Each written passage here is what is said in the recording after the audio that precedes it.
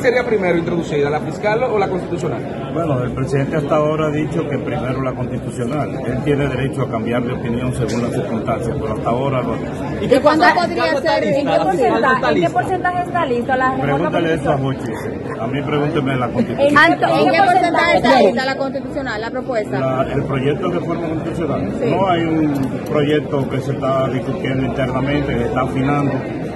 Y debo decirle que posiblemente, si no en esta semana que viene o en la otra, van a ocurrir dos cosas.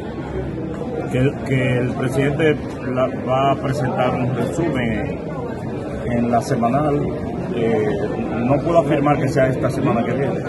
Y después que la consultoría va a abrir un espacio de discusión con abogados e instituciones interesadas en los temas jurídicos.